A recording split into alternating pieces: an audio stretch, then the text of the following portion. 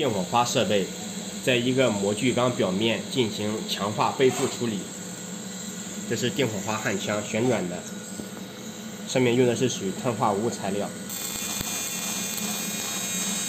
像一些压铸模具，比如说脱模的时候不好脱模，我们可以在这个一般 H 幺三的压铸模具上面，可以进行就是用碳化钨进行强化背负。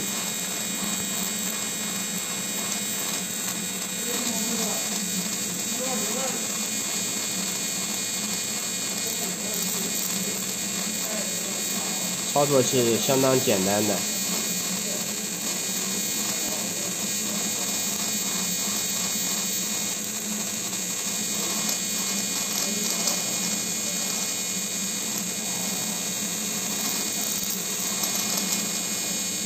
这就是已经背负好的，它的强度和硬度是非常的高，而且不会粘膜，也没有温度。